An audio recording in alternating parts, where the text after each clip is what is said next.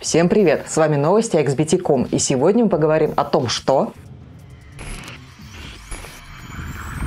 В Санкт-Петербурге открылся первый в России государственный центр киберспорта. В нем есть 30 игровых мест, стримерская зона, зона активного отдыха, 4 тренировочных зала и 2 для командной игры. Компьютерная техника, как утверждают создатели, профессионального уровня. Современные мониторы, VR-гарнитуры, геймерская мебель, а стримерская зона оборудована студийными микрофонами. В будущем в центре планируют открыть киберспортивную школу для детей, а пока что проводятся уроки компьютерной грамотности для старшего поколения. Самое приятное в новости то, что это государственная организация, а значит занятия будут бесплатны.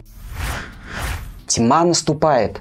Но это должно обрадовать фанатов Silent Hill. Ремейк второй части выйдет 8 октября. Konami и Bloober Team переработали геймплей, музыкальное сопровождение и вид от третьего лица. Теперь камера будет за плечом главного героя. Дизайн тоже видоизменился, но не стоит переживать. За него все так же отвечает Масахира Ито, геймдизайнер предыдущих частей. А еще в ремейке распрощались с загрузочными экранами. Пока ждем, можно посмотреть свежие трейлеры игры.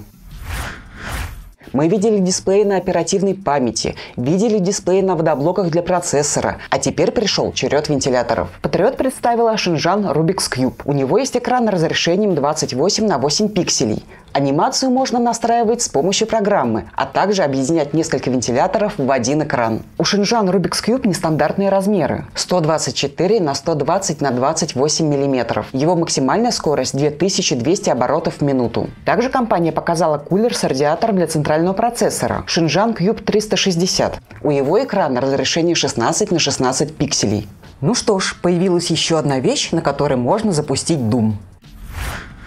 Компания Sightful представила вторую версию ноутбука SpaceTop G1. Вместо экрана у него очки дополненной реальности. Первая версия ноутбука была показана еще год назад, но вторая более мощная и доступная в цене. В ноутбуке стоит Qualcomm QCS 8550. Объем оперативной памяти 16 гигабайт, встроенный 128 гигабайт. Время автономной работы 7 часов. В очках используются OLED-панели с частотой обновления 90 Гц, а разрешение 1080p. Угол обзора в очках 50 градусов. SpaceTop G1 дает возможность использовать сразу несколько виртуальных мониторов. Выглядит очень удобной штукой для работы в путешествиях. Продажи начнутся в конце этого года. Стоить SpaceTop G1 будет 1900 долларов. Борьба за экологию не только важная, но и модная вещь. Компания Tecno представила лимитированную серию смартфонов Camon 30. Задняя крышка устройства частично сделана из кофейной гущи. В одном смартфоне примерно 0,8 грамма кофе, все остальное – эко-кожа. В кофейном исполнении доступны 4 модели – Camon 30 Premier, Camon 30 Pro, Camon 30 5G и Camon 30. Их можно будет купить только за рубежом, а в России середины мая доступны эти же модели, но в обычном, не экологичном дизайне.